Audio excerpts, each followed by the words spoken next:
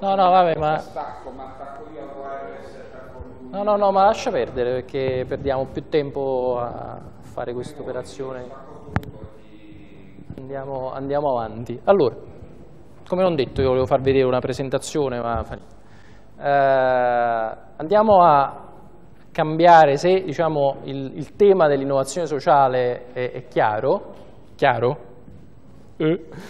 Eh, occupiamoci di un altro concetto che è un po' il collegamento tra quanto abbiamo detto stamattina e appunto questo tema dell'innovazione sociale e che è il cosiddetto social business. Social business che possiamo tradurre maccheronicamente appunto in impresa sociale eh, è un pezzo dell'innovazione sociale. L'innovazione sociale è un concetto più ampio perché come abbiamo visto riguarda tutte le idee che possono essere uh, messe in campo per risolvere problemi sociali, indipendentemente da chi le realizza, quindi può essere anche un ente pubblico, può essere un'università, può essere chiunque.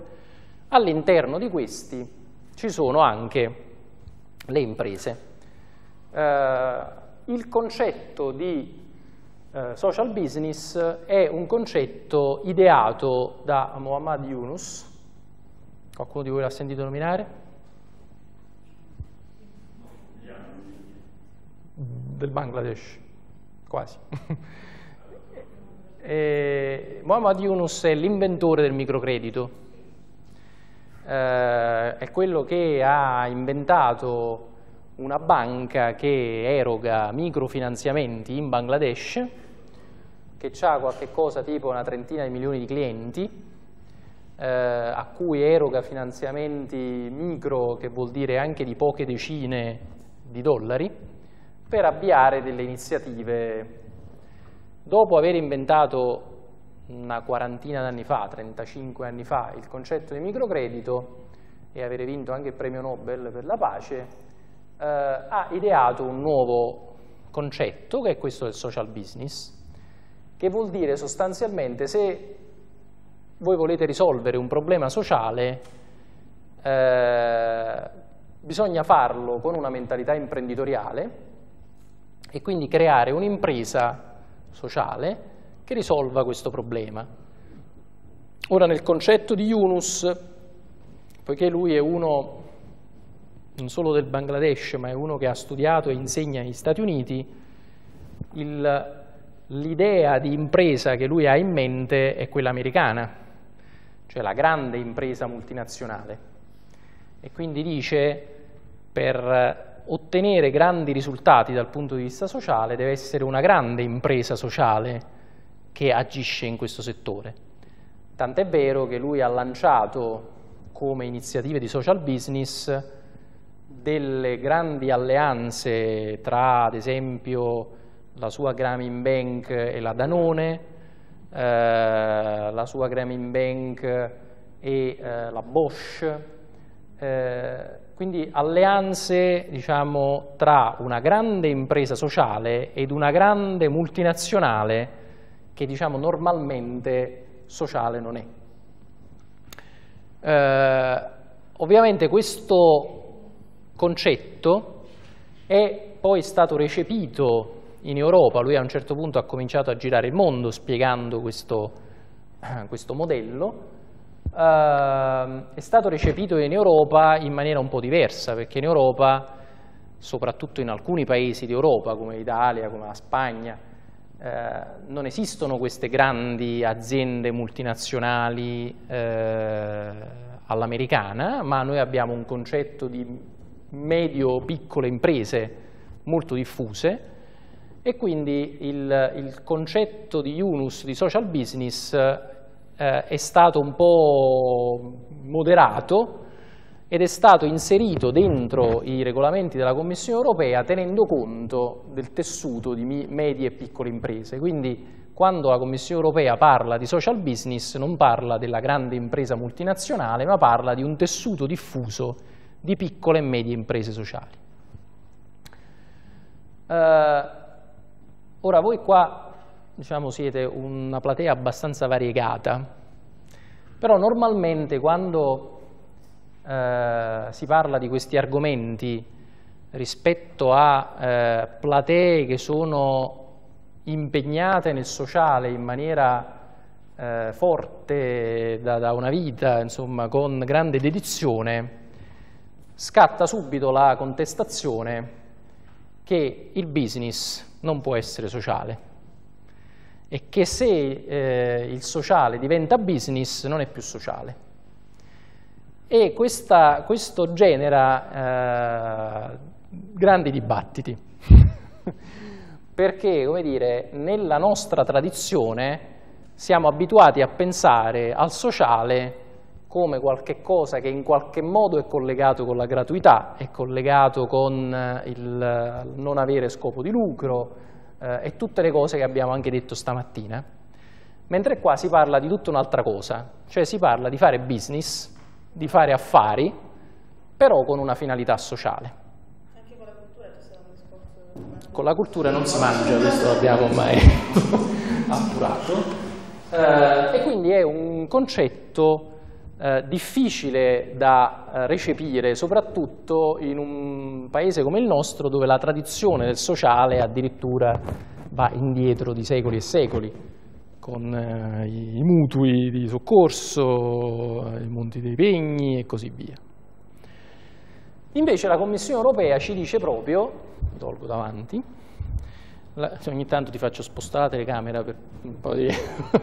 così evitiamo che prendi sonno anche tu, e ehm, la Commissione europea quindi identifica eh, il social business come una impresa a tutti gli effetti che deve generare profitto, ma, cui, ma per la quale il profitto non è l'obiettivo prioritario. L'obiettivo prioritario è l'impatto sociale, però poi deve fare profitto, eh, che opera nel mercato, quindi non è eh, un'impresa un che in quanto eh, genera eh, iniziative che hanno un, un, un impatto sociale deve essere finanziata dallo Stato. No, deve operare nel mercato, vendere prodotti e servizi nel mercato che utilizza i profitti per raggiungere gli obiettivi sociali e che è gestita da imprenditori. Che cos'è l'imprenditore? Eh, colui che può fare profitti, reinvestirle, reinvestirli per raggiungere l'obiettivo, ma può avere anche una distribuzione limitata. Quindi nel regolamento comunitario si dice che certo può anche scegliere di non distribuire niente, però viene lasciata la possibilità all'imprenditore sociale di distribuire profitti. Eh, la, dire, il limite alla distribuzione dei profitti è uno degli elementi che hanno generato grande discussione eh, in Europa, perché gli inglesi dicono deve esserci totale libertà di distribuzione dei profitti, gli italiani o i francesi dicono no, ci deve essere un tetto.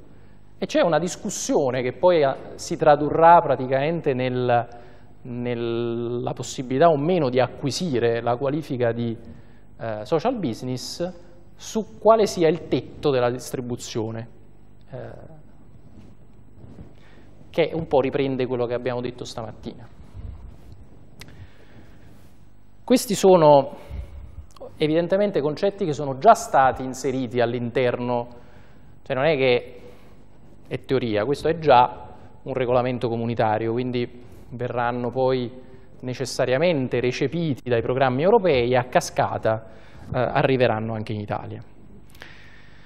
Eh, il punto quindi essenziale è il, che si passa diciamo, dal concetto di non profit ad un concetto di business che è completamente diverso. E qui vi ho evidenziato in maniera eh, molto chiara che il social business non ha niente a che fare con l'impresa sociale disciplinata dalla nostra normativa.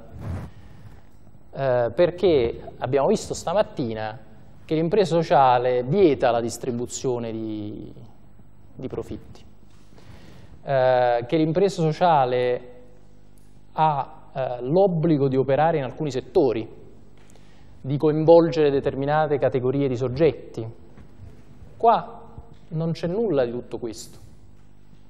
Purché un'impresa dimostri di perseguire un obiettivo sociale, qualunque esso sia, potrà essere eh, classificata come social business a livello comunitario, indipendentemente dalla forma giuridica, indipendentemente dalla dimensione, indipendentemente dalle categorie svantaggiate a quali si va eh, a rivolgere, quindi il, il campo di applicazione diventa molto più ampio. E potenzialmente la famosa grande multinazionale qui parliamo di Europa, quindi inglese piuttosto che tedesca, che dovesse decidere di dedicarsi ad un obiettivo sociale, sarà una, considerata a livello comunitario un social business alla pari delle cooperative sociali o delle imprese sociali della nostra legislazione.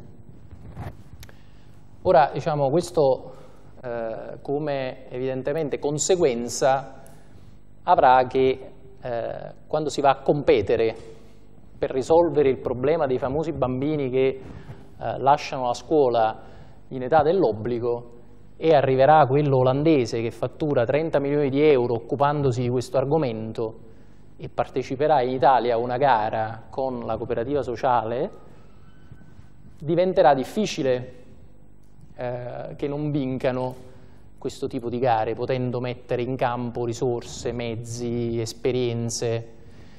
Eh, e quindi è comprensibile eh, l'atteggiamento difensivo che il mondo dell'impresa sociale italiano ha rispetto a queste novità che sono state introdotte.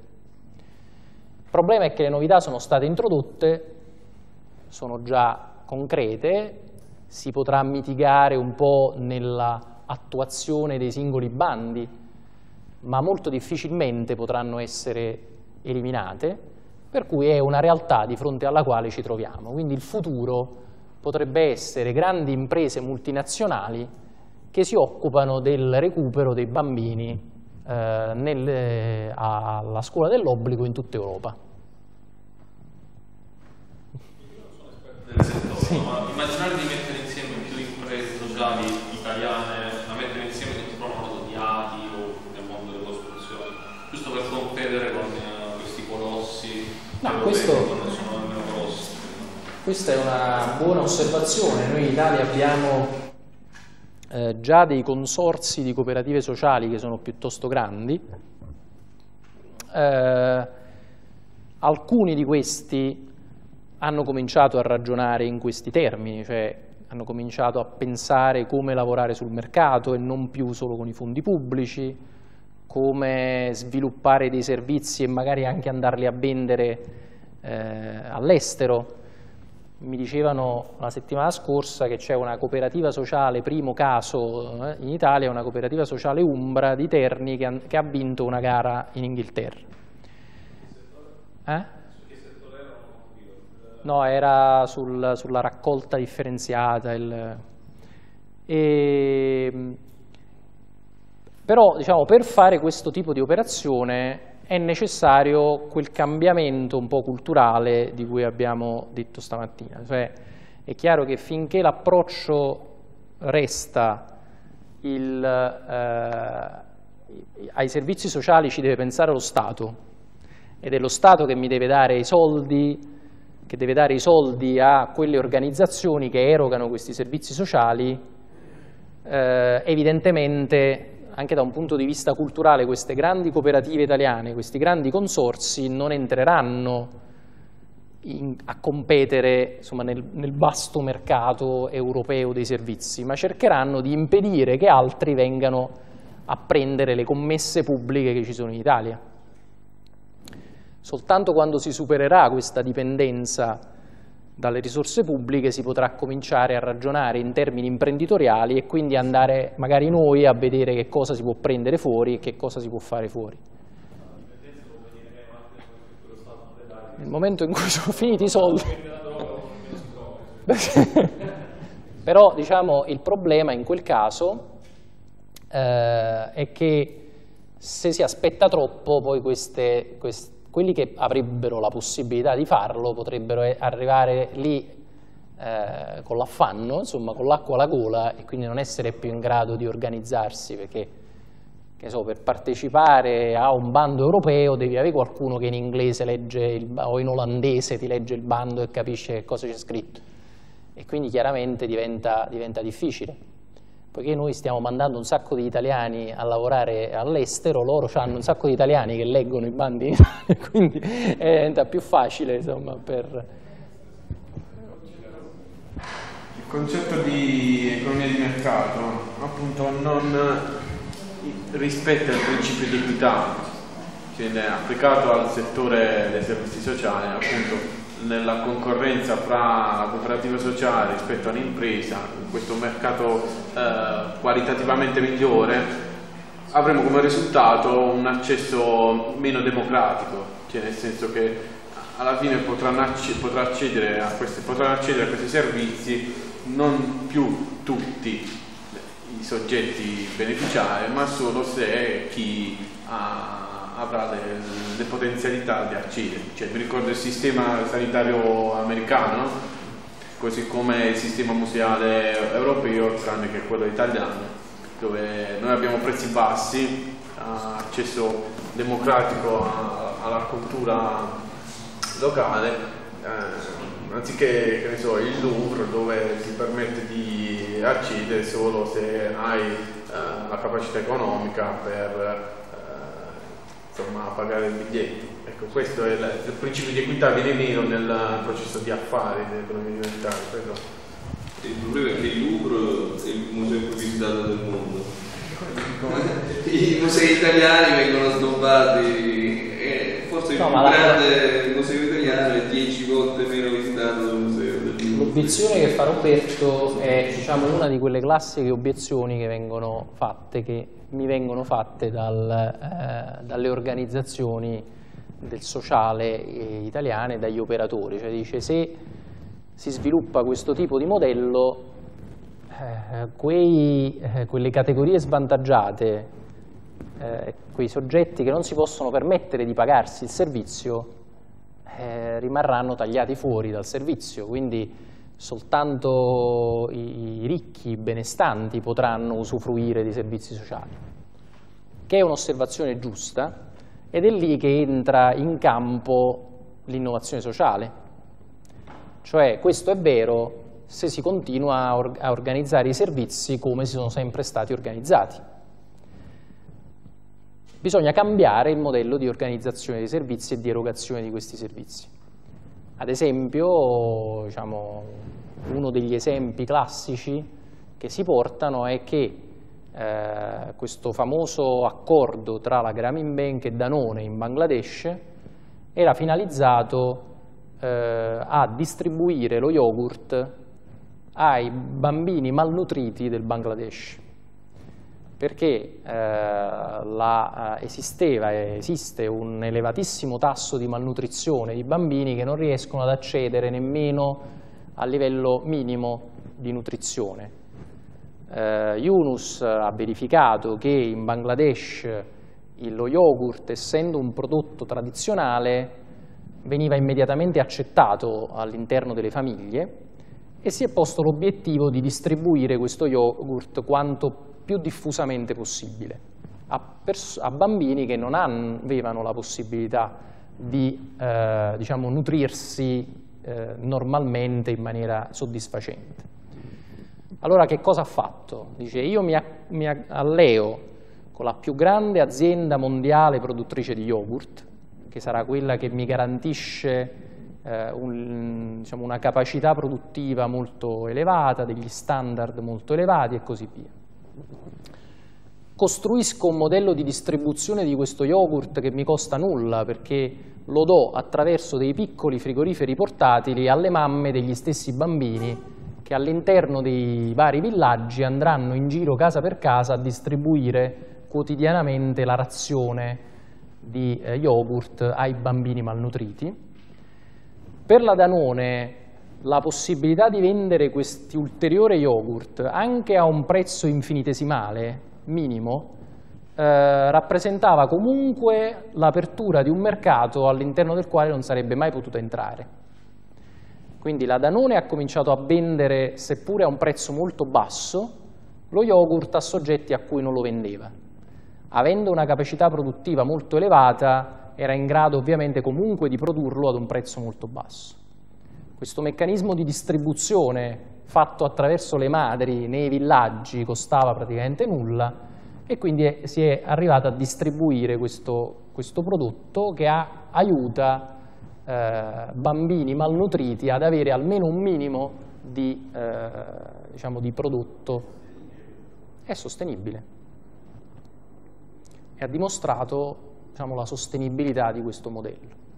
Ma ci sono molti altri casi che si stanno sviluppando attraverso cui eh, la sostenibilità economica viene raggiunta cambiando completamente il modello di erogazione del servizio, di vendita del prodotto. Chiaramente non è semplice, perché bisogna inventarsi qualche cosa e farla funzionare in maniera completamente diversa da prima. È ovvio che se rimaniamo all'interno dei modelli eh, tradizionali difficilmente questo sarà possibile. Io non so se sarà possibile risolvere tutti i problemi sociali, affrontare tutti i problemi sociali anche delle categorie più povere attraverso un approccio imprenditoriale, innovativo, creativo di questo genere. Può darsi di no, può darsi di sì, però come diceva lui, eh, nel momento in cui le risorse pubbliche stanno finendo e quindi in ogni caso non sarà possibile mantenere il modello tradizionale perché non ci saranno più i soldi per pagare l'assistenza nemmeno nei paesi sviluppati come dovrebbe essere il nostro, bisogna evidentemente immaginarsi comunque delle forme, delle forme nuove e creare gli strumenti perché queste forme nuove possano eventualmente affermarsi. Quindi questo è, è il cambiamento di prospettiva. Poi magari non funziona, però eh, cioè la mia opinione è che continuare a chiedere soldi pubblici quando ormai è evidente che i soldi pubblici non ce ne sono più non è molto intelligente. Poi magari insomma, può, darsi che un bel giorno eh, piovano dal cielo risorse pubbliche, però insomma in, in, in una prospettiva di medio-lungo termine, parlando dell'Italia con una popolazione che invecchia, eh, con eh, una competitività dal punto di vista del lavoro che non c'è più, una produttività molto bassa, noi non avremo mai più le risorse pubbliche che avevamo vent'anni fa da destinare a questo scopo. Per, per, giunta tutti i giovani migliori se ne vanno, quindi avremo anche carenza di idee fra poco e, e, e quindi evidentemente, soprattutto per un paese come l'Italia, eh, cominciare a porsi il problema di come risolvere questo, questo aspetto dovrebbe, dovrebbe, essere importante, cominciare quantomeno a, a, ragionare su delle modalità innovative. E, ehm, e, adesso vediamo un attimo un po' alcune delle cose che stanno eh, avvenendo, diciamo, ci siamo soffermati un po' più a lungo del previsto, quindi probabilmente non riusciremo a vederle tutte, ma tanto poi torno, peggio per voi, e quindi eh, magari ne parliamo anche la prossima volta. La Social Business Initiative è eh, diciamo, l'agenda di interventi che la Commissione europea ha messo in campo per favorire la diffusione del social business in Europa. Queste sono tutte cose, vi ho messo vicino praticamente l'anno da, dal quale partono, quindi alcune cose sono già partite, altre partiranno dal 1 gennaio 2014. Una delle cose più interessanti che è già partita è ehm, la realizzazione di un quadro europeo di regole per lo sviluppo dei fondi di investimento sociale. Ora, tutti quanti noi, quando sentiamo parlare di fondi di investimento, ci cominciamo a spaventare perché diciamo, mamma mia, questi sono quelli delle banche, della finanza che hanno rovinato l'Europa e il mondo intero. Ebbene, la Commissione europea ha creato le condizioni perché si possano creare dei fondi di investimento dedicati alle imprese sociali. Due di questi fondi sono già nati e sono in Lussemburgo, sono stati creati in Lussemburgo e ora cioè, non è che i lussemburghesi, o meglio i, finanzi, i fina, gli uomini di finanza che hanno sede in Lussemburgo siano improvvisamente diventati buoni. Cioè, ieri ci affamavano e oggi all'improvviso. E che evidentemente c'è un mercato, un fondo è stato creato da Deutsche Bank, un altro da Credit Cooperative, che è la rete delle banche di credito cooperativo francesi, entrambi cofinanziati dal Fondo Europeo degli Investimenti. Eh, adesso cominciare a porsi il problema che stiano nascendo dei fondi di investimento dedicati alle imprese sociali vuol dire che almeno qualcuno pensa che le imprese sociali possano essere un soggetto sul quale investire. Questa era come dire, la sigla. uh, mi soffermerei su su questi altri aspetti. Uno è eh, il fatto che è stato creato, nell'ambito di questo quadro, è stato creato uno statuto europeo della, delle cooperative, uno statuto europeo delle fondazioni, cioè di soggetti che possono operare una volta riconosciuti indipendentemente in tutti i paesi dell'Unione Europea 27. Quindi una cooperativa che sia riconosciuta eh, come cooperativa europea può operare senza confini in tutti i paesi dell'Unione, così come le fondazioni, la famosa libera circolazione, eccetera, eccetera. Quindi si sta lavorando per creare le condizioni perché il mercato europeo eh, diventi un mercato aperto alle imprese sociali. Ed è interessante che queste modifiche che in una visione eh, dire, tradizionale dovrebbero stare in capo so, al Ministero delle Politiche Sociali e quindi alla Direzione Generale della Commissione Europea che si occupa di politiche sociali, invece no, sono in capo alla direzione che si occupa del mercato comune. Quindi vengono trattate allo stesso modo di tutte le altre imprese, vengono trattate allo stesso modo di tutti gli operatori della finanza, perché sono diventate un elemento che fa tutti gli effetti parte del sistema economico europeo, non sono più diciamo, oggetto soltanto di politiche sociali, rientrano a tutti gli effetti nel modello economico che l'Unione Europea vuole costruire. Um, vi ho già detto del programma EASY, eh, ho già accennato al fatto che i programmi regionali di cui non abbiamo ancora il quadro complessivo eh, dovranno avere tra le proprie priorità anche questi temi, anche lo sviluppo del social business dovrà essere inserito, bisogna vedere come eh, i programmi operativi nazionali e regionali andranno a declinare questi elementi, però ci dovranno evidentemente essere. Questo ovviamente vuol dire che potrebbero, ci potrebbero tranquillamente essere nel, nel prossimo futuro dei bandi dedicati a servizi sociali a cui possono partecipare anche le SRL, per rimanere nella nostra eh, legislazione. Questo vi ho già parlato.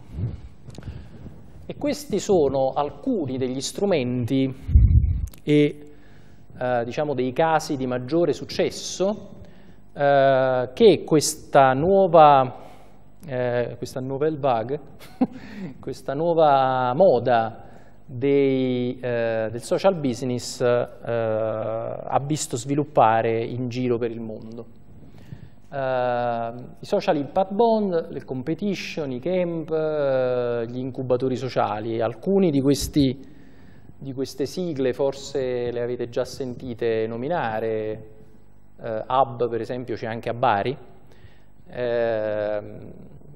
e, i social impact bond, per esempio dei social bond sono stati emessi da Banca Etica recentemente, piuttosto che da, da Ubi Banca, anche se non sono diciamo, proprio il concetto di cui andiamo a parlare, ma cominciano ad arrivare anche in Italia di questi, alcune di queste esperienze che sono per lo più nate in un contesto anglosassone. Uno dei casi, forse quello di, di maggiore successo, a parte le, le, le, iniziative di Yunus di cui vi dicevo prima, è questo dei, eh, delle obbligazioni ad impatto sociale che sono state eh, inventate da un'organizzazione inglese che si chiama Social Finance e che servono proprio per fronteggiare quella carenza di risorse pubbliche di cui dicevamo. Cioè a un certo punto il Ministero degli Interni eh, inglese eh, non era più in grado di sostenere le spese derivanti dal eh, reinserimento dei, diciamo, dei detenuti nella vita sociale e lavorativa. Quindi questi uscivano dal carcere e il Ministero non aveva più abbastanza risorse da mettere in piedi dei programmi di reinserimento efficaci. Uh, il carcere di uh, Petersburg, uh, insieme con Social Finance, ha elaborato un modello eh, estremamente innovativo per cui sostanzialmente la cosa non è semplicissima, cerco di rendervela più semplice possibile. Social Finance è un'organizzazione finanziaria, a tutti gli effetti, che emette un'obbligazione. Un Ci siamo? Questa obbligazione la vende ai risparmiatori. Io emetto l'obbligazione, ve la vendo e vi dico compratevi questa obbligazione e io fra cinque anni vi restituisco i soldi che mi avete dato oggi e vi pago un interesse X se l'obbligazione andrà bene, come funziona per tutte le obbligazioni sul mercato finanziario normale in tutto il mondo. I soldi che io raccolgo, i soldi che Social Finance ha raccolto, vengono dati a delle organizzazioni che si occupano di reinserimento dei detenuti. Il Ministero degli Interni dice se queste organizzazioni riescono dopo cinque anni a garantirmi che il tasso di recidiva, cioè il tasso di ritorno in carcere dei detenuti è sceso al di sotto di un limite che abbiamo stabilito, io Ministero pago a te social finance un premio, una cifra. Io social finance con questo premio pago l'interesse a quelli che mi hanno prestato i soldi. Con questo meccanismo il Ministero degli Interni non si fa più carico di tutta la spesa necessaria per il reinserimento dei detenuti, ma si fa carico soltanto della quota di eh, premio che viene riconosciuta a social finance e soltanto nel caso in cui le organizzazioni a cui questi soldi sono stati dati riescano a raggiungere l'obiettivo. Se le organizzazioni non riescono a raggiungere l'obiettivo, il Ministero non tirerà fuori nemmeno questo premio.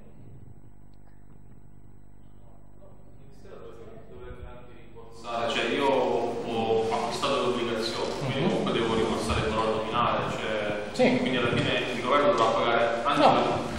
E come, e come ritorno investimenti? Emetto nuovi, nuovi bond. Ah, emetto nuovi bond. E chi li emette? Sempre social finance. Sempre social finance.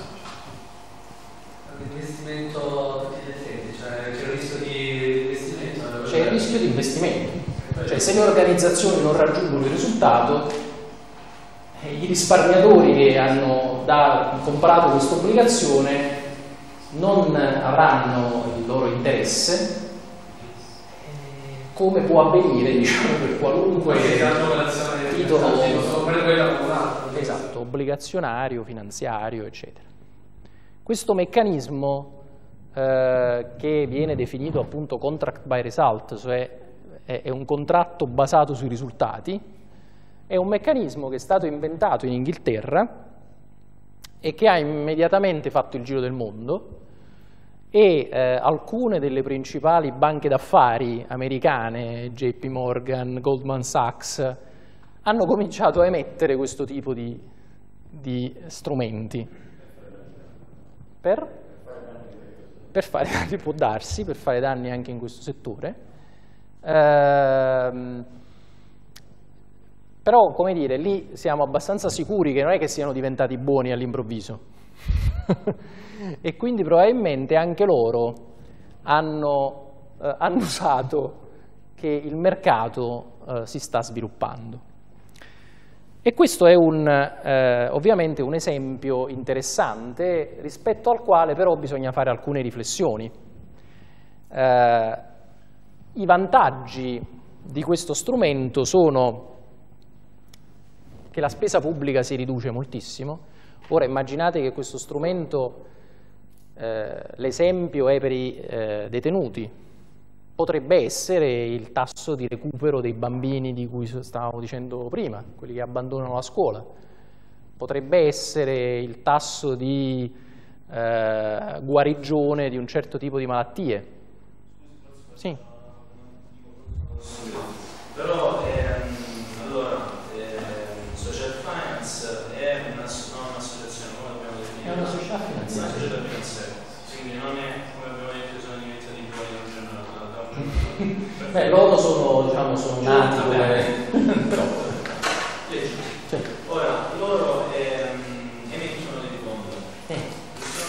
E, eh, dicono agli investitori tra 5 anni vi diamo degli interessi. Sì. Eh, ma Se, poi se- se- se il bond funziona. sì, il bond funziona.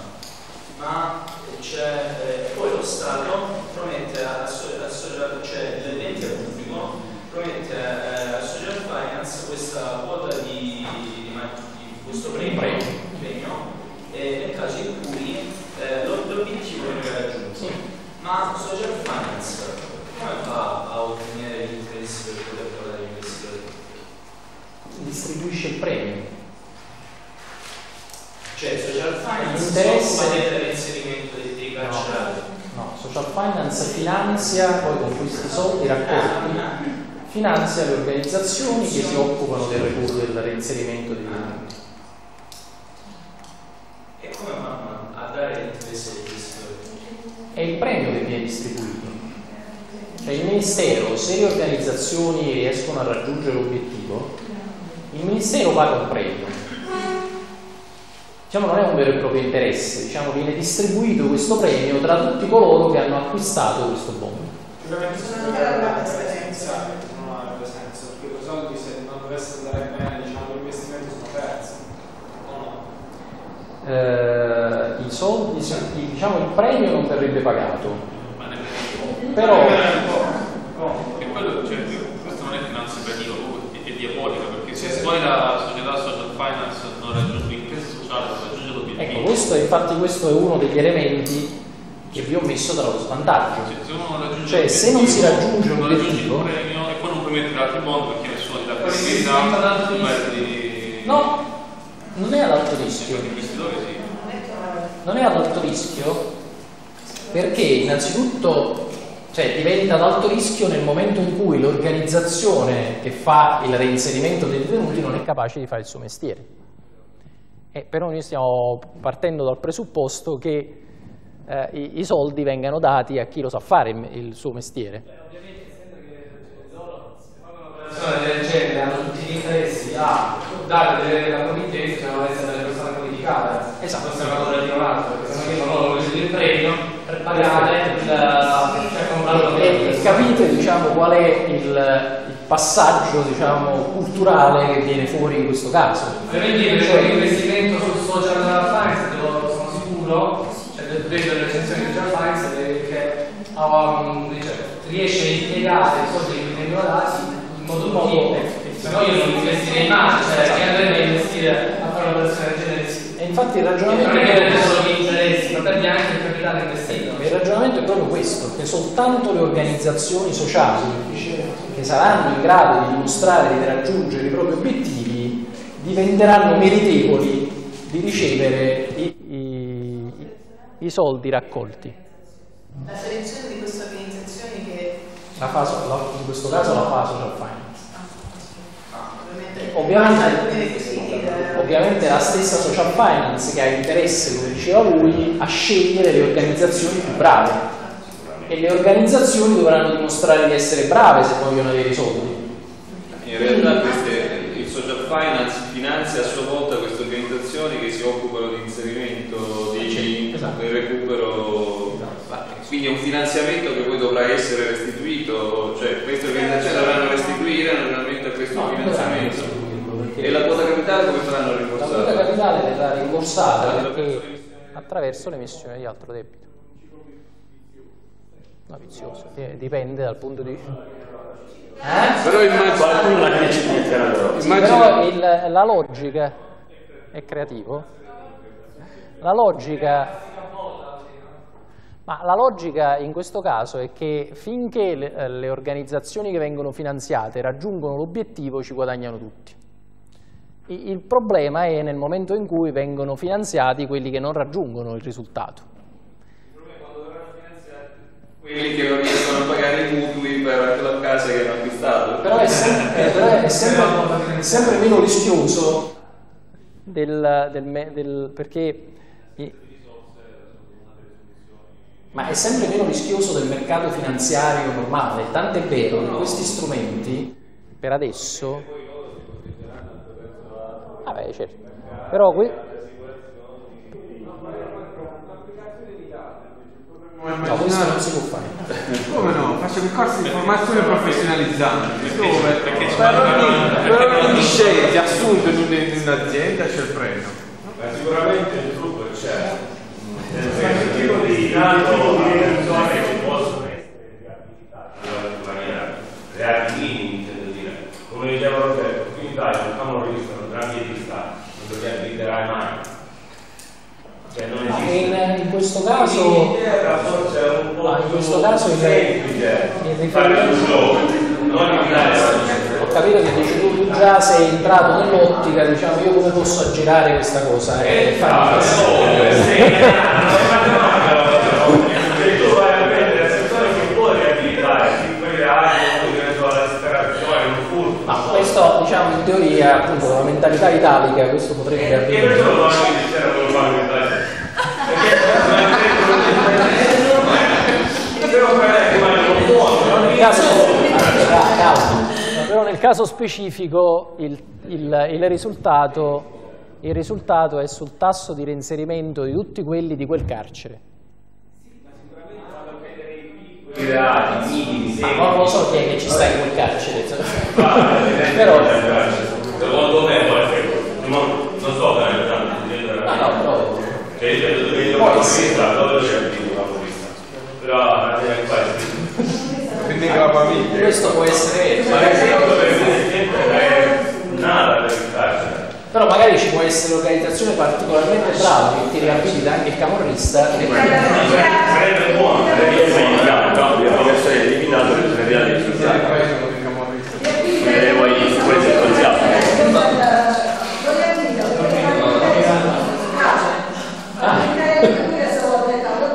Vabbè, quelli già sono i capi, quindi non c'è bisogno. Comunque, appunto, le, le obie- le- No, in Italia non si può fare. Attualmente in Italia questo strumento non si può utilizzare, ma non perché siamo culturalmente abituati a trovare la scappatoia, ma sostanzialmente perché in Italia gli unici che possono emettere titoli e venderli sul mercato sono praticamente le banche.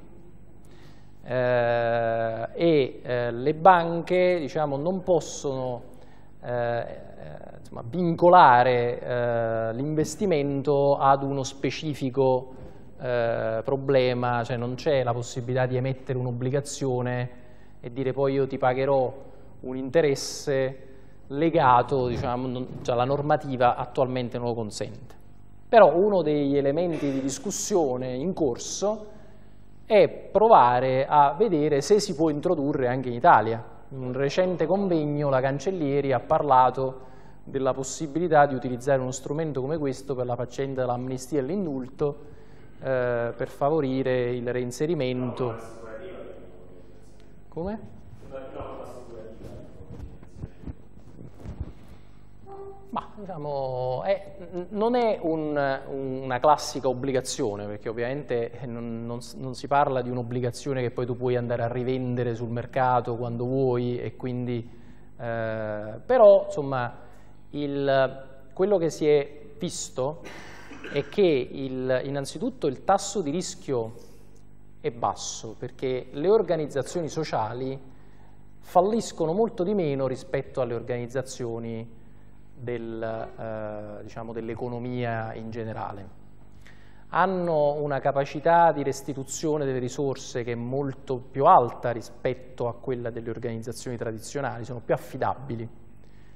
E quindi ovviamente se tu investi in un soggetto che è più affidabile, il tuo tasso di rischio è più basso e ovviamente in qualunque mercato dove il tasso di rischio è più basso anche l'interesse è più basso. Quindi se io per investire in un'azienda che produce armi eh, per fare la guerra in Siria, eh, investo e guadagno un interesse del 20%. È chiaro che se investo in un'iniziativa sociale guadagno un interesse molto più basso, però è anche vero che se finisce la guerra in Siria oppure se si scopre che quell'azienda sta vendendo le armi in Siria, quell'azienda chiude e quindi il mio tasso di rischio eh, sarà più alto e ovviamente mi devono dare un interesse più alto. Ma entriamo in questo... Eh, però il, il, il punto interessante è che quelli che investono in questi strumenti di questo tipo sono non in questo momento i singoli risparmiatori, ma sono i grandi fondi internazionali. Per esempio i fondi pensione cinesi stanno investendo in strumenti di questo tipo, perché i pensionati cinesi non vogliono un investimento ad alto rischio, vogliono un investimento a basso rischio, con un basso interesse che gli viene riconosciuto, ma purché non sia molto rischioso. E quindi il mercato diciamo, del sociale, chiamiamolo così, dell'impresa sociale, come, come l'abbiamo definita oggi, eh, è un, un mercato a basso rischio, magari a basso rendimento, ma che può essere molto interessante per quegli investitori istituzionali che sono prudenti. Quindi diventa, e la stima è che diciamo, nei prossimi tre anni ci saranno circa 500 miliardi di dollari che verranno investiti in questo settore, che è più o meno un quarto del PIL italiano non con questo meccanismo in generale, però al momento questo è il meccanismo diciamo, di maggiore successo, di, di, maggiore diffusione, perché in tutti i paesi anglosassoni, negli Stati Uniti, in Australia, in Canada, in Israele, ormai si sono diffusi strumenti di questo genere. La nuova legge sull'economia sociale francese li prevede, non è stata ancora approvata, è in discussione, eh, e quindi comunque si sta diffondendo abbastanza. In Italia se ne è cominciato a parlare, appunto c'è stata questa intervista alla Cancellieri che ha lanciato questa ipotesi, vedremo che cosa succede, probabilmente ci vorranno dieci anni perché una cosa di questo genere si possa fare in Italia. Però eh, le, le, obiezioni che voi avete sollevato diciamo, sono appunto qui, insomma, sono tutte obiezioni assolutamente legittime, eh, c'è evidentemente una selezione delle organizzazioni in base alla loro efficienza, che in un contesto come l'Italia, dove in genere si cerca di aggirare la norma, fare una selezione, una scrematura in base alla capacità di raggiungere i risultati sicuramente male non fa. Um, anche il discorso della professionalizzazione delle risorse. Nel terzo settore italiano è tutto molto arrangiato. È chiaro che per poter raggiungere obiettivi dovrai avere persone che sappiano fare il loro mestiere. Non puoi prendere a uno perché ti costa di meno, devi prendere uno che sia più bravo a fare... E I fondi te li danno loro se riesci a essere efficiente. Se riesci a essere efficiente i, soldi, i fondi non avrai più problemi di approvvigionamento con uno strumento del genere. Se poi non, non ci riesci, chiudi e tutto sommato male non è. Chi è? Mm. Diciamo, non, ci, ci, spende di meno. Ci spende di meno. Nel senso perché io ho se io, se io ho un ente pubblico che dovrei eh, in Stato eh, coprire gli interessi e tutelare, rappresentare gli interessi della collettività eh, dico ti do il premio hai risultato se no non tieni ciao cioè non ti niente non soltanto ma eh, lo Stato non paga più tutte le spese, perché altrimenti dovrebbe pagare tutte le spese. Non pagherà più tutte le spese, pagherà solo il premio. Quindi comunque, anche se eh, si raggiunge l'obiettivo, no, ma anche se si raggiunge l'obiettivo, spenderà comunque di meno. Spenderà comunque di meno e potrà utilizzare quelle risorse per fare un'altra cosa. Un altro strumento è questo delle, delle, competition, un esempio è quello che vi dicevo prima della Social Innovation Competition dedicata a Diogo Vasconcelos, cioè che cosa si fa? Sono una specie di concorsi internazionali di idee, tipo quelli che si fanno in architettura, cioè che facciamo sto ponte e vi presenta i progetti per fare il ponte. In questo caso sono dei concorsi di idee eh, molto semplificati rispetto ai bandi normali, in genere non c'è un'application strutturata ma semplicemente una pagina in cui si presenta la propria idea e poi se l'idea risulta tra le migliori ci si lavora su assieme per eh, svilupparla.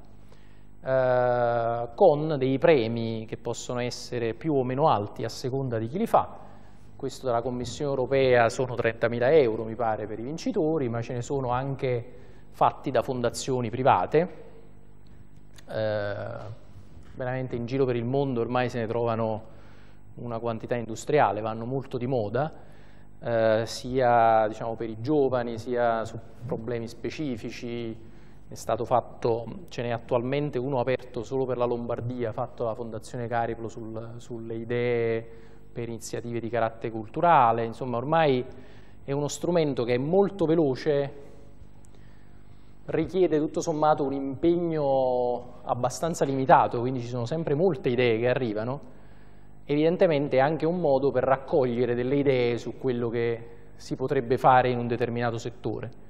Quindi anche qui da un lato non si è di attori, come protagonisti. Questo, dipende, diciamo, quasi, quasi in tutti i casi poi viene realizzata da chi l'ha proposta. Ci possono essere casi in cui tu dici io ti do il premio e mi hai ceduto l'idea, però è molto raro. In genere viene premiato chi l'ha proposta e viene accompagnato a realizzarla sempre chi l'ha proposta. Uh, vi dicevo Nesta, questa organizzazione inglese, fa ormai competition su tutto, hanno fatto, l'ultima volta che sono stato a Londra stavano facendo una, una competition su come ridurre il tasso di furti di biciclette nelle città, nelle aree metropolitane inglesi. E quindi c'erano questi che presentavano le idee tipo chi, chi toglieva il sellino, chi attaccava, cioè, tutta una serie di, eh, di sistemi per cercare di evitare, quindi insomma ce n'erano veramente di tutti i colori, ormai eh, il successo di Nesta è appunto dimostrato dal fatto che viene chiamata in giro per l'Europa a gestire competition di questo genere. Addirittura la Banca Europea degli Investimenti ne ha fatte già due edizioni eh, e credo che adesso ne lanceranno una terza, quindi la Banca Europea degli Investimenti, cioè una cosa seria, ormai fa questo tipo di iniziative. Anche qua ci sono evidentemente vantaggi e svantaggi, cominciando a cedere fisicamente, ci sono, eh? Non so perché se mi hanno detto che alle 5 e mezzo dobbiamo finire, se, se n'è andato Roberto, lo dice che qua... No, sì, 6 meno un quarto, quindi direi a questo punto sono le 5, andiamo avanti a esaurimento.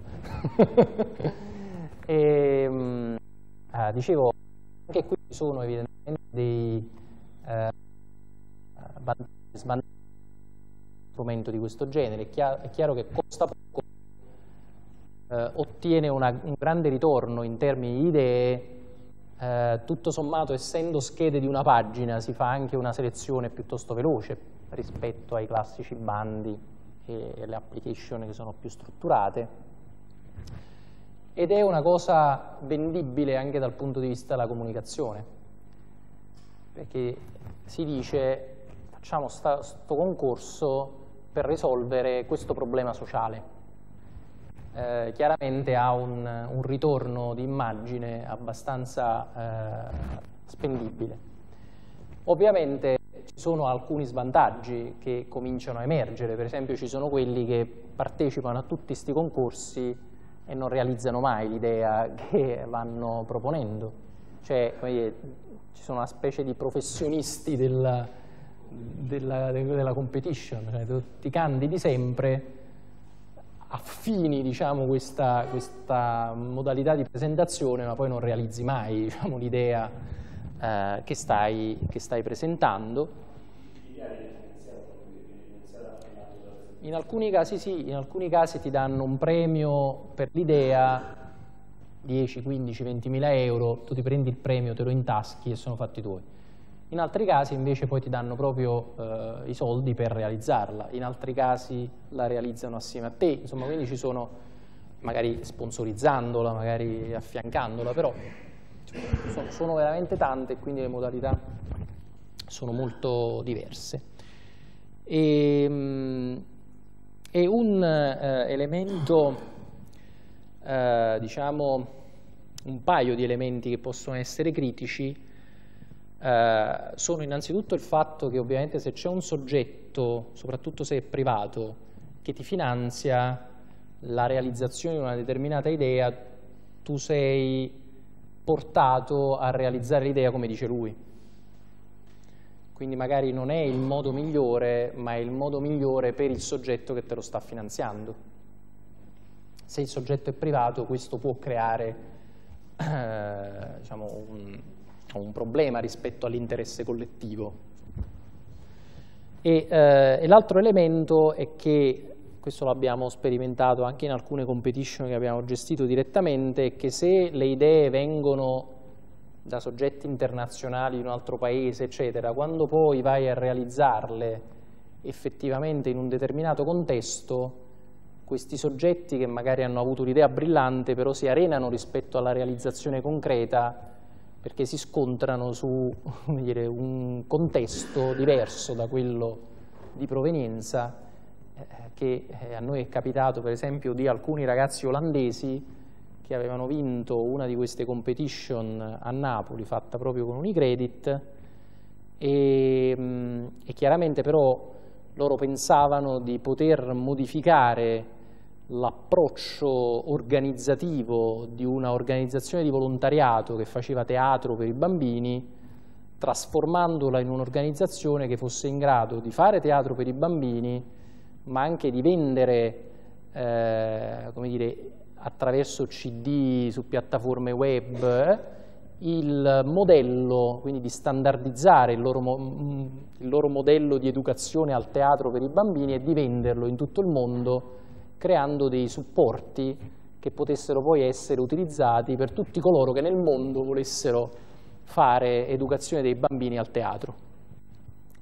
Si sono scontrati proprio sulla resistenza di questa organizzazione che non riusciva a capire che certe cose le doveva fare in un determinato modo perché potessero essere standardizzate e quindi adattate in tutto il mondo. Diciamo c'era un livello di improvvisazione nell'affrontare le varie cose, per cui pensare di standardizzare, omologare la risposta eh, in modo che andasse bene per tutti era un qualcosa che non riuscivano, non sono riusciti a recepire. Quindi nonostante un paio d'anni di lavoro e circa 20.000 euro che avevano a disposizione per fare questa cosa, in realtà poi non ci sono riusciti e quindi non hanno potuto utilizzare gli altri 200.000 euro che erano disponibili per realizzarla e per partire effettivamente.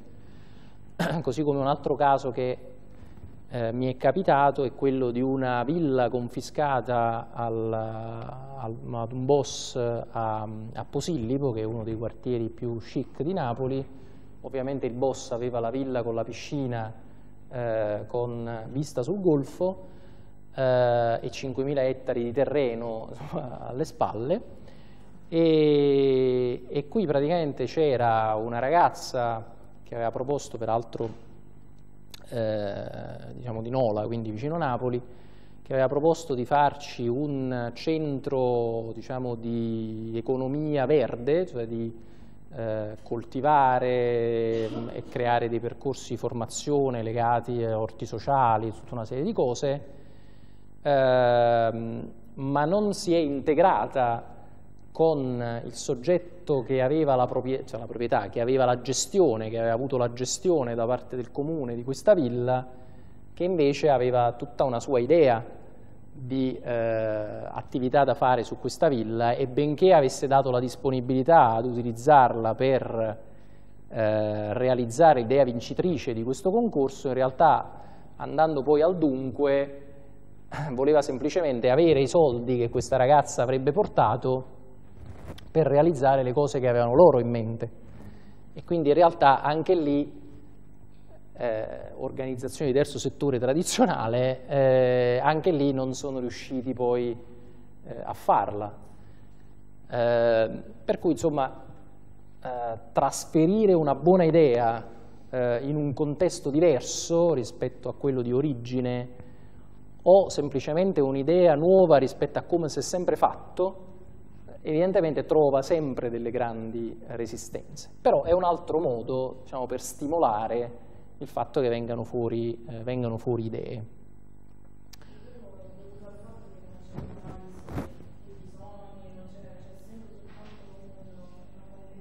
Certo. allo svantaggio del rischio perché non hai analizzato il territorio, non hai analizzato il bisogno. Quello è chiaro. Però è evidente che così tu riesci, noi questa competition che facemmo con un mese, un mese e mezzo di apertura avemmo eh, circa 200 idee progettuali più o meno da una 35-40 paesi del mondo. Eh, ovviamente se avessimo chiesto, preparato un'application, un, un, formulario, un bando, innanzitutto ci volevano due mesi solo per preparare il formulario, il bando, eccetera, eccetera. Poi traducilo in, in tutte le lingue, come fai? Eh, già tradurlo solo in inglese sarebbe diventata un'impresa. Chiedere ad altri di altri paesi di presentarti delle idee eh, che, che, gli chiedi di scrivere in inglese significa che tu devi avere una batteria di valutatori che sappiano leggere l'inglese, quantomeno. E una cosa è che leggi una pagina e una cosa è leggere 30 pagine di un formulario. E quanto ti costa avere una batteria di valutatori di progetti di questo genere? Alla fine eh, sarebbe diventato molto più costoso, molto più lungo, avresti avuto molte meno risposte.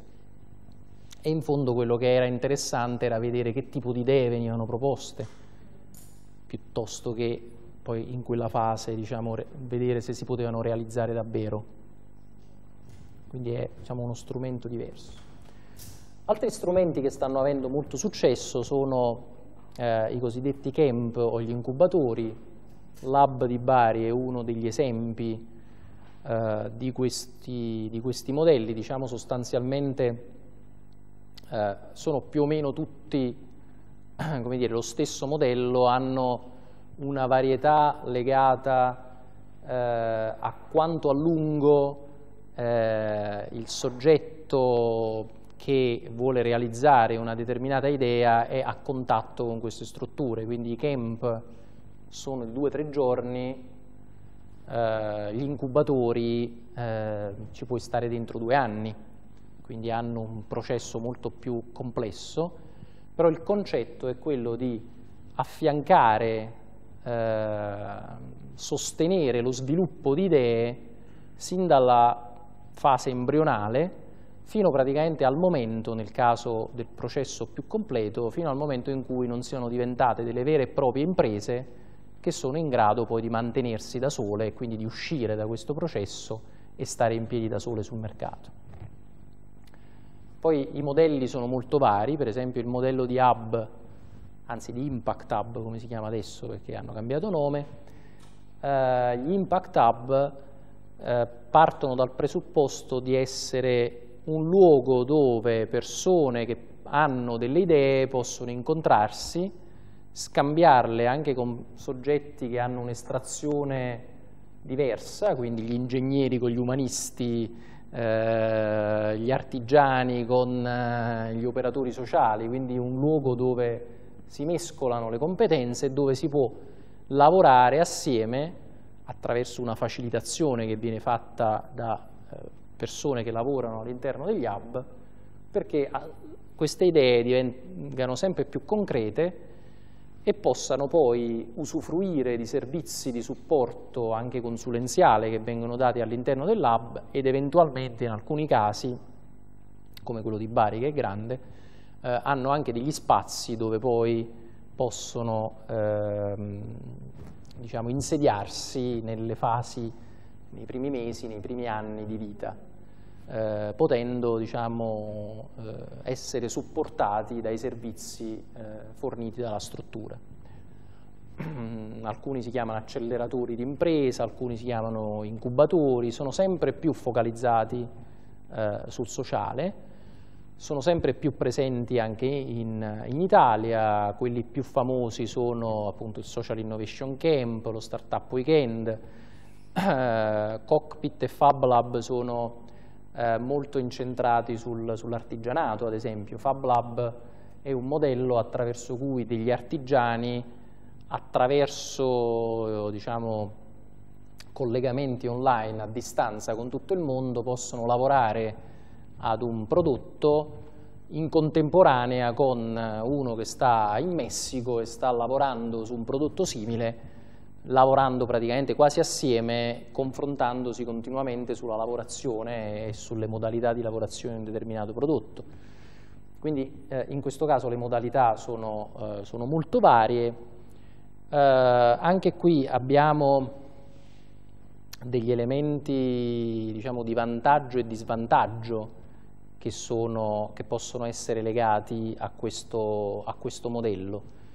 Um, io mi soffermerei sul fatto che uh, è un posto dove è facile attirare investitori, che poi alla fine gli investitori di cui parlavamo prima uh, vogliono avere uh, un flusso di proposte tra le quali scegliere quelle che li convincono di più dal punto di vista economico e dal punto di vista dell'impatto sociale che vanno a generare. Eh, è chiaro che se hai un posto dove ci sono tante idee e tanta gente che lavora assieme, è più facile creare un rapporto con un investitore che magari viene lì periodicamente, si sceglie le cose che gli interessano di più, ha la possibilità di, veder, di vederne tante in modo continuo e quindi eh, è facile attirare investimenti da questo punto di vista. Eh, lo svantaggio, diciamo, eh, è ancora una volta quello ehm, che si può generare una, eh, dire, un approccio ehm, eccessivamente standardizzato eh, è difficile che, eh, al, poiché si tratta di, eh, in genere di network internazionali, eh, di modelli internazionali, è facile che eh, si venga, diciamo così, affascinati da come una cosa si fa a Londra piuttosto che a New York o a San Francisco e quindi si cerchi automaticamente di riportarla nel proprio contesto anche quando nel proprio contesto non c'entra niente. Eh, un esempio che io faccio sempre è che una dei, ehm, dei princip delle principali fonti di ricavo per la rete degli hub eh, è praticamente il, diciamo, il fitto della scrivania a ore.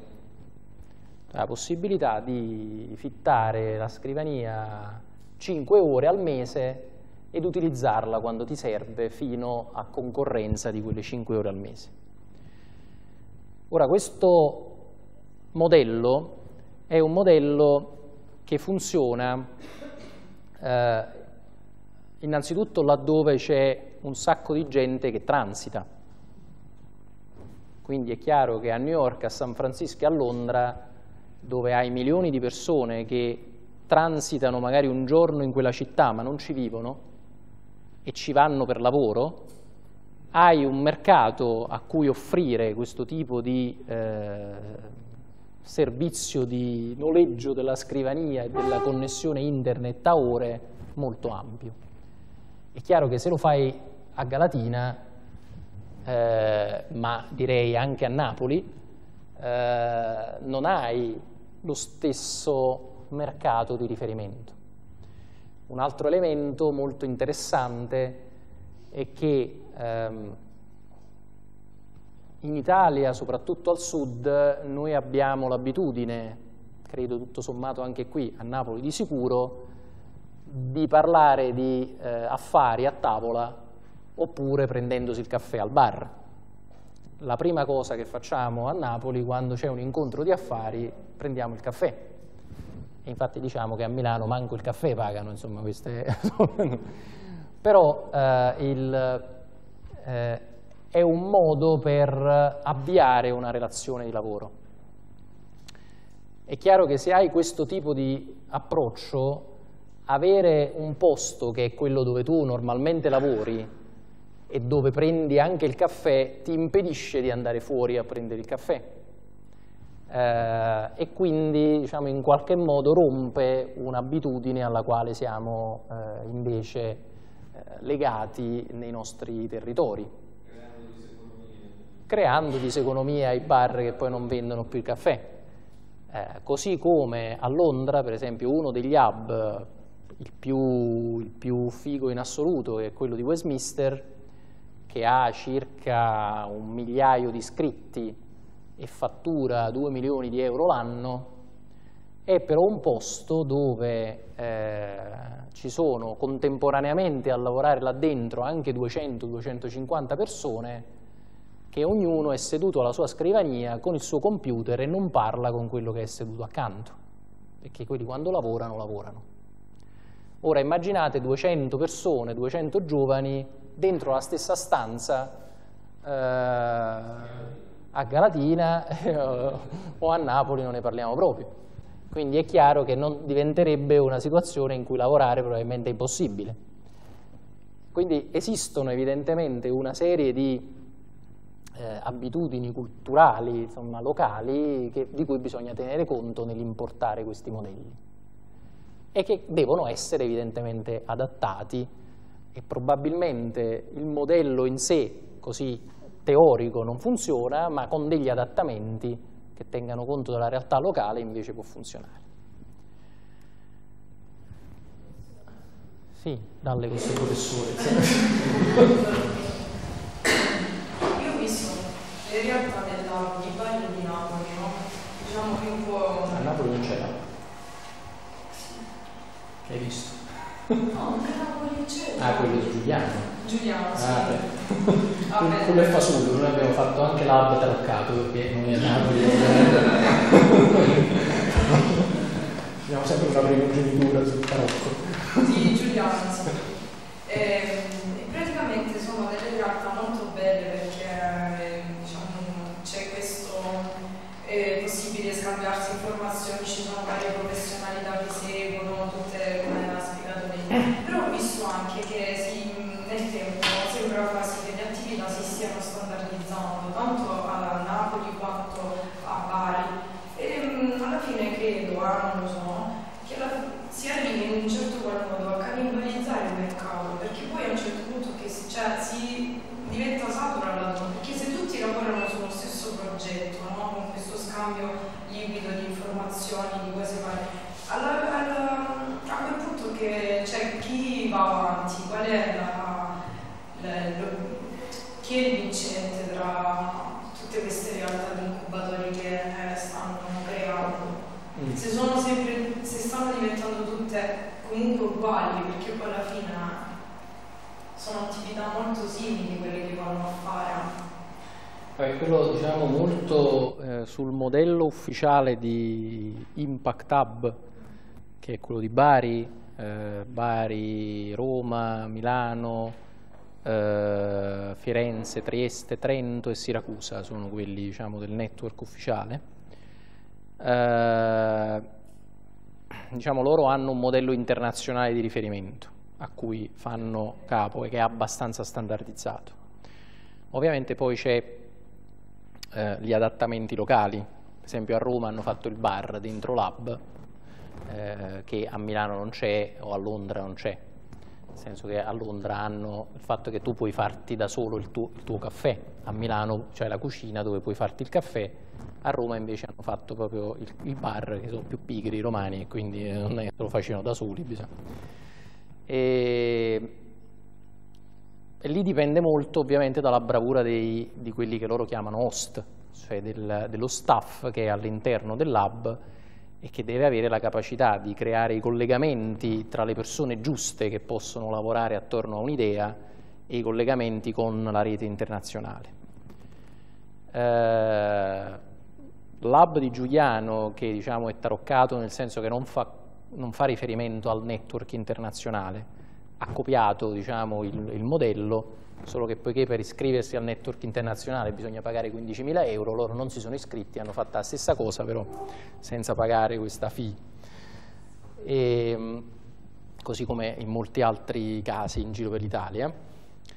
Eh, lì l'esigenza era un po' diversa, loro avevano una struttura con determinate caratteristiche molto bella nel centro del, del paese, con paese, poi Giuliano ha 120.000 abitanti, quindi eh, un paese, e, mm, e, quindi dovevano utilizzare questa struttura e hanno quindi costruito una serie di servizi in funzione della struttura che avevano a disposizione. Eh, quindi diciamo la logica è un po' diversa, però per evitare il rischio che dicevi tu, sta alla bravura delle persone che lo gestiscono, e poi alla fine il nodo è sempre quello. Se hai delle persone che sono effettivamente in grado di creare questi collegamenti e di facilitare la creatività, allora tu avrai tante idee che vengono fuori. Invece si affidi completamente ad un processo standardizzato di incubazione, è chiaro che alla fine più o meno vanno a finire tutti quanti allo stesso risultato, che è quello dove tu li conduci, insomma, cioè dove eh, nella ripetitività li conduci.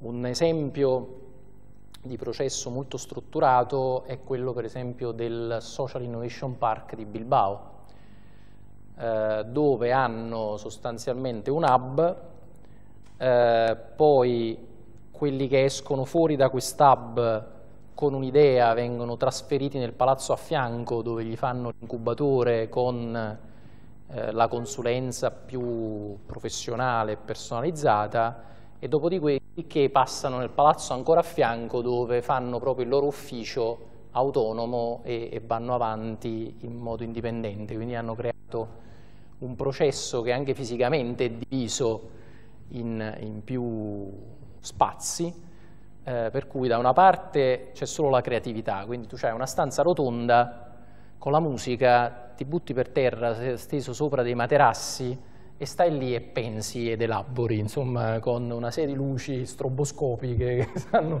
in giro e che fa facilitano il fatto che tu possa pensare. Dopodiché esci da là dentro tutto stonato e cominci a parlare con gente che fa tutt'altro, che è uscita dalla stessa esperienza per vedere fuori che cosa ne viene. E, eh?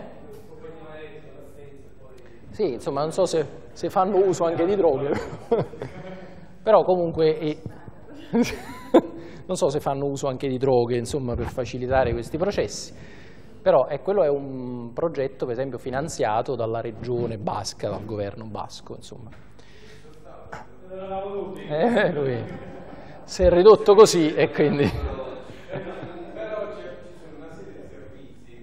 che mettono loro hanno proprio tipo um, il quadro logico, hanno messo la, la loro possibilità eh, che poi vanno a finanziare quelle attività imprenditoriali più meritevoli. Cioè, c'è un gruppo di esperti, consulenti che offrono i propri servizi gratuiti solo per la fase iniziale, però ovviamente eh, gli step successivi devono essere eh, finanziati stessi, o capitale proprio o capitale preso in prestito. Sì, diciamo che nella prima fase sono finanziati, poi quando passi nel secondo palazzo devi pagarti le ore di consulenza, se passi nel terzo palazzo paghi l'affitto.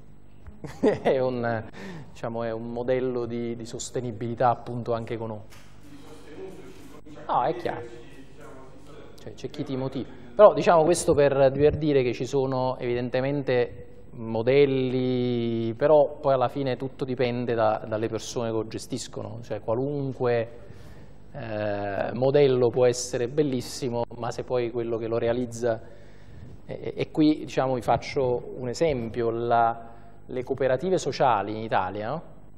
sono state un'innovazione di grandissimo eh, livello vent'anni fa, cioè qualcuno si è messo lì, ha tirato fuori un modello di inserimento per categorie svantaggiate che non esisteva eh, e ci ha fatto su una legge che ha generato oggi 15.000 cooperative sociali esistenti, ma immaginate in questi vent'anni quante ne sono state, quanti soggetti svantaggiati sono, hanno avuto accesso al mercato del lavoro grazie a questo strumento. È chiaro che l'innovazione che c'è stata vent'anni fa, se tu continui a, a riproporla sempre uguale, ovviamente non è più innovativa, può non essere più adatta alla realtà attuale, quindi se all'epoca immaginare un modello che prevedeva che l'ente pubblico potesse darti direttamente un incarico se tu garantivi l'inserimento lavorativo di quelle persone era estremamente innovativo. Oggi che l'ente pubblico l'incarico non te lo dà più perché i soldi non ce ne sono più, se tu continui a insistere su quel tipo di innovazione è chiaro che non funziona. Bisogna cambiarlo. Quindi in ogni campo, diciamo, se diventa standardizzato e ripetitivo, dopo un po' va a finire fuori mercato. E eh, dicevo, queste sono un po' eh, quelle che sono le cose che attualmente si stanno facendo in Italia rispetto a queste innovazioni. Eh, vi accennavo i social bond di UB Banca con CGM. CGM è il più grosso consorzio italiano della cooperazione sociale, ha fatto un accordo con UB Banca per cui UB Banca emette delle obbligazioni che non sono come quelle che vi ho detto prima, sono obbligazioni normali, come tutte le altre vendute sul mercato finanziario normale, senza premi, senza intervento dei ministeri, cioè proprio normali, che però eh, utilizzano i fondi raccolti per finanziare le iniziative che vengono realizzate dal gruppo CGM e da tutte le varie centinaia di cooperative che fanno parte del gruppo CGM in tutta Italia. Uh, ed è uno strumento che ha avuto un, un successo di, di, diffusione anche molto rapido, un, un esempio interessante. Uh, di crowdfunding avete sentito parlare sicuramente tutti quanti perché è un'altra di quelle parole che uno va in televisione e dice faccio crowdfunding e quindi mazza quanto sei figo, però nessuno ha capito né quello che lo fa né quello che lo dice di che sta parlando. Uh, quando parliamo di crowdfunding significa sostanzialmente raccolta su internet di denaro, possono essere donazioni, possono essere prestiti, ma sostanzialmente sono piattaforme su internet che servono a raccogliere soldi Uh, banca Prossima, che uh, è la banca uh, dedicata dal gruppo Intesa San Paolo a lavorare mh, con il terzo settore e lavora esclusivamente con il terzo settore, ha messo su una piattaforma che si chiama Terzo Valore che ha un po' queste caratteristiche del crowdfunding, cioè sostanzialmente se il parroco, esempio classico, se il parroco vuole aggiustare il campanile della sua parrocchia, e non ha i soldi per farlo, va su questa piattaforma, però deve essere cliente di Banca Prossima, va su questa piattaforma, mette lì il suo progetto di ristrutturazione del campanile, i suoi fedeli, invece di mettere i soldi nel cestino in chiesa, li, danno, li mettono su un conto di Banca Prossima e quando si raggiunge il 50% del, eh, della spesa necessaria per ristrutturare il campanile, l'altro 50% ce lo mette Banca Prossima. E chiaramente il, eh, quelli che mettono questi soldi riceveranno, eh, non riceveranno interesse rispetto ai soldi che hanno messo su, su questo progetto, mentre invece il parroco dovrà pagare l'interesse sui soldi che ci mette Banca Prossima. È chiaro che complessivamente avrà il vantaggio di avere un interesse più basso rispetto a quello che avrebbe dovuto pagare se Banca Prossima gli avesse prestato tutta la cifra. Quindi anche quello un meccanismo innovativo eh, che consente diciamo, di risparmiare in parte l'interesse che avrebbe dovuto alla banca. Social Innovation Camp e Social Change Weekend ne abbiamo parlato, sono diciamo, dei modelli di incubazione però ristretti nel tempo, stai chiuso in una stanza un giorno o tre giorni a lavorare intensamente alla tua idea e alla fine della tre giorni o esci rintronato completamente oppure esci con una idea più sviluppata e più strutturata rispetto a quella con la quale sei entrato. Sono dei modelli che vengono dal mondo delle start-up tecnologiche, che vuol dire tutto ciò che ha a che fare con internet, perché da lì viene il, il concetto di start-up, per cui eh, quando si parla di start-up o di web start-up ci sono degli sviluppatori, degli informatici matti che si mettono lì e si inventano un programmino con l'obiettivo di poi vendere magari so, su YouTube o su iTunes uh, questo programmino a quanta più gente è possibile a 50 centesimi l'uno per fare un sacco di soldi, questo è l'obiettivo e in quei tre giorni loro elaborano questi programmini. Si è poi mutuato questo modello delle web startup anche per le imprese sociali e quindi sono delle, dei periodi concentrati di lavoro su eh, imprese sociali. Uno l'abbiamo fatto a Taranto il 30 giugno scorso, stiamo pensando di farne uno a Lecce, non, che pare sia molto più recettiva di Taranto da questo punto di vista e quindi magari vi faremo sapere quando lo faremo a Lecce. Uh, della Social Innovation Competition abbiamo parlato, c'è un Naples 2.0 perché la Commissione Europea ha copiato in realtà da una cosa che avevamo fatto noi tre anni fa, quindi uh, per quello si chiamava Naples 2.0. Degli hub abbiamo parlato, Changemakers è uno di questi uh, concorsi di idee per la cultura che è stato fatto nell'ambito di Expo da Avanzi, con la società eh, di cui ho fatto vedere prima il modellino, delle start-up a vocazione sociale abbiamo parlato diffusamente. C'è gli ultimi dieci minuti per eh, le ultime domande, poi ovviamente mi potete contattare o potete vedere su, su internet. A questo punto il giochino con i post-it lo facciamo la prossima volta. eh? eh, oh, eh ho bisogno di un paio d'ore per fare la faccenda dei post-it. Domande? Siete sconcertati? il, sociale non vi attira più? È diventato troppo complicato, più facile fare ingegneri aerospaziali?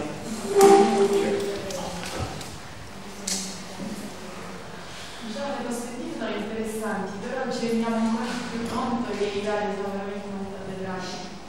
innovazioni che ci hanno Italia dal punto di vedere non... Beh, eh, non so mai sapere, insomma. Ah, vabbè, noi siamo molto fiduciosi perché ha deciso di rimanere qui abbiamo eh, fatto anche una scommessa. Cioè, una capacità di resistenza superiore alla media. Ah, no, in alcune di queste novità eh, periodicamente vengono proposte anche per l'Italia. Ho detto che c'è questa proposta di legge della modifica della 155 che accoglie alcune di queste, di queste ipotesi. Alla fine dell'anno scorso ci fu un'analoga proposta che addirittura era stata messa in, in votazione nell'ambito della legge di stabilità dell'anno scorso, poi ritirata improvvisamente e frettolosamente senza capire bene perché, eh, tipo il giorno prima che votassero la legge di stabilità, quindi eh, c'è evidentemente un movimento sempre crescente di soggetti che sono interessati a queste, a queste novità, eh, bisogna vedere poi quando effettivamente si potranno tradurre in pratica, c'è anche una resistenza al cambiamento molto forte. Un episodio che racconto sempre che quando nel novembre del 2011 eh, c'è stata questa conferenza di lancio della Social Business Initiative, eh, gli organizzatori, diciamo il, il, il gabinetto di, Bar, di, di, Barnier, che è il commissario europeo che eh, si occupa di questo tema, ehm, chiese ai vari paesi di presentare un caso eh, di successo, di, di innovazione eh, durante questa conferenza. E poiché all'epoca facevamo nell'ambito di un network europeo da supporto alla Commissione per il lancio di questa, di questa Social Business Initiative, noi proponemmo eh, una ragazza di Napoli di 19 anni che è appunto la, eh, questa ragazza che lavora in questa associazione che fa teatro per i bambini, eccetera, che all'epoca eh, era con gli olandesi in questo gruppo, poi non si sono capiti, ma all'epoca stavano appena iniziando a lavorare su questa cosa uh, e chiaramente questa ragazza uh, parlava anche benino l'inglese, quindi potevamo diciamo, presentarla.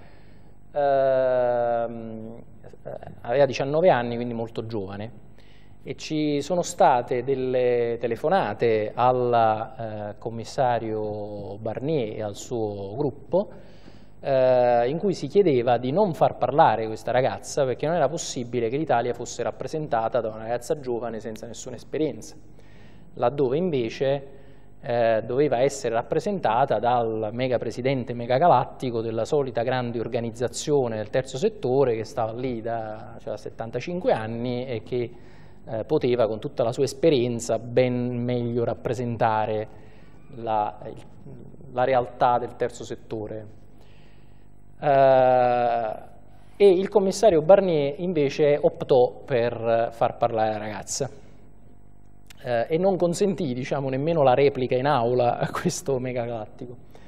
E, e quello secondo me fu abbastanza esemplificativo di che cosa com'è la situazione in Italia in questo settore, cioè c'è una grande storia, una grande tradizione che non vuole cambiare, eh, e che cerca legittimamente di difendere questa storia e questa tradizione.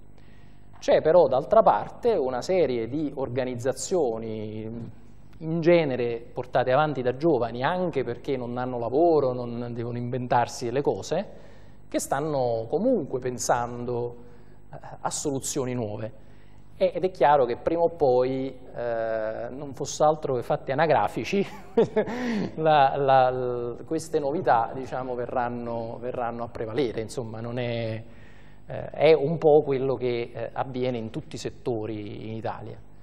Eh, il terzo settore è molto rappresentativo di quello che è eh, diciamo, l'Italia, per questo vi dicevo all'inizio della giornata che molto spesso quando faccio docenze di questo tipo a persone che lavorano nel terzo settore, eh, dopo un po' mi cominciano a tirare le cose dietro perché eh, diciamo, parlo di cose che sono troppo al di fuori del, della tradizione italiana che invece deve essere difesa eh, e valorizzata, cosa con la quale sono d'accordo, però diciamo, non, poiché non stiamo parlando di un museo, ma stiamo parlando di economia e di, e, e di sociale, e non è possiamo solo difendere.